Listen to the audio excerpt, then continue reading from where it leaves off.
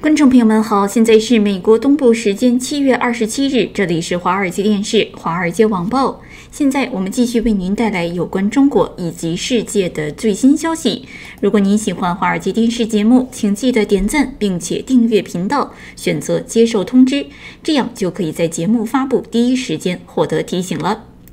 今天首先要为您关注到的是被控签证欺诈的中国军人唐娟首次出庭应讯的相关情况。根据来自美国之音的报道，被控签证欺诈的唐娟在今天下午以视频形式首次出庭，法庭指定了一位叫做内金的律师来为她辩护。在美国各级法院系统，如果刑事被告没有钱请律师，那么法庭就会为他请指定的律师，而被告是不需要付费的。加州东区联邦法庭的法官巴恩斯表示，唐娟将被继续关押，因为她存在潜逃的可能。但同时，她的律师可以提出保释条件。唐娟的初审定在八月十号。在六月二十六日，他被控签证欺诈，涉嫌隐瞒军人身份，以获得 J1 的访问学者签证，到加州大学戴维斯分校从事放射肿瘤学的研究工作。而本周早些时候的公开起诉书说，唐娟在二零一九年底入境美国，当时持有访问学生签证，而在二零一九年十月二十八日左右申请签证的时候，却没有披露与中国军方的关系。在今年六月二十日被联邦调查局问话时，也矢口否认。但是公开信息以及对他住所的搜查结果显示，他是一位军人，而且受雇于中国人民解放军空军军医大学。根据联邦调查局称，唐娟在被问话和搜查后，曾经到中国驻旧金山领事馆寻求庇护，一直没有出来。而在上周五，唐娟走出领事馆，随后被当局逮捕，拘押在萨克拉门托县的监狱中。而美国在星期三下午下令中国在星期五下午四点前关闭驻休斯顿的总领事馆。美国国务卿蓬佩奥在星期四在一场演讲中又强调，休斯顿领事馆是间谍活动和知识产权的中心。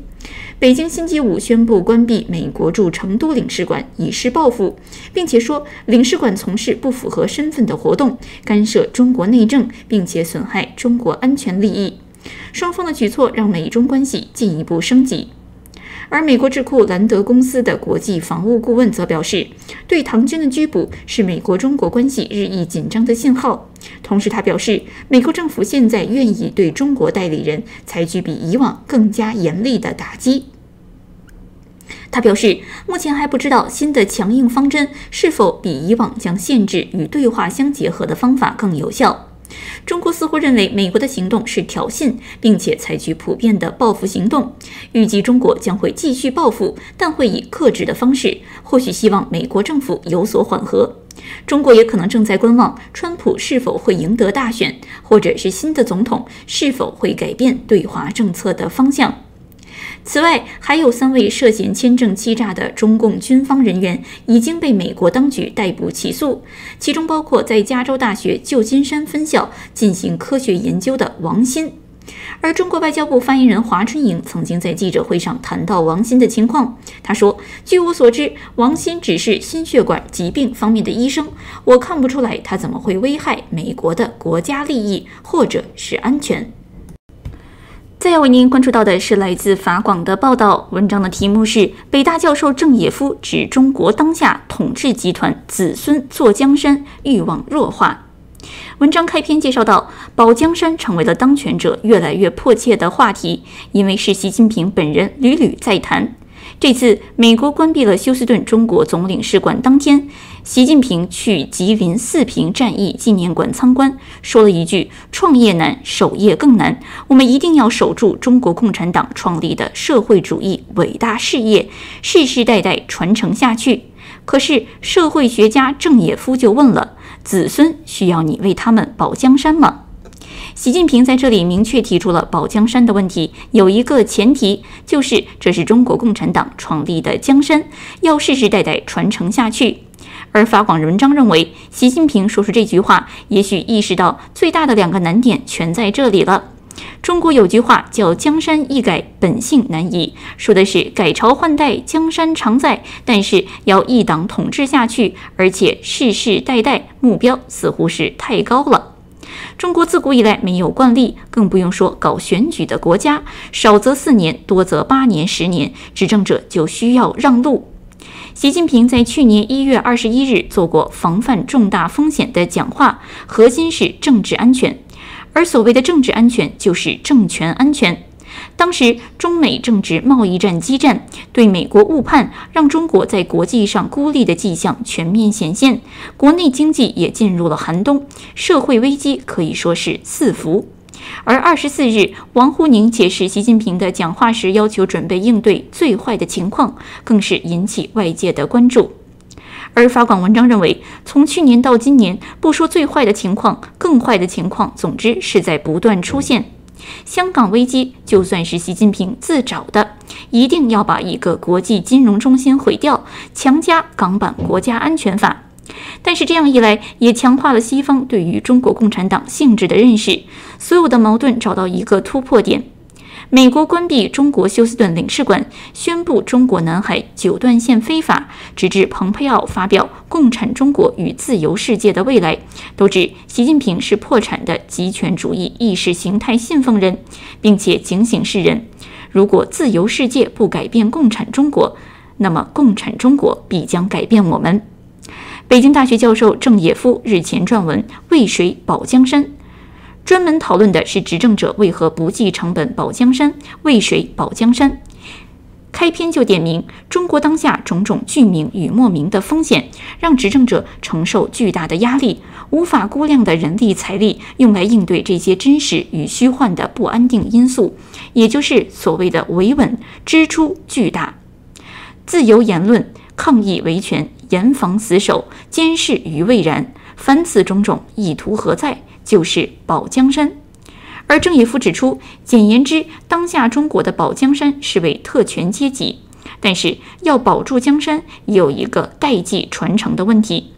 但是郑也夫认为，中国当下的统治集团遇到了一个人类历史上罕见的问题，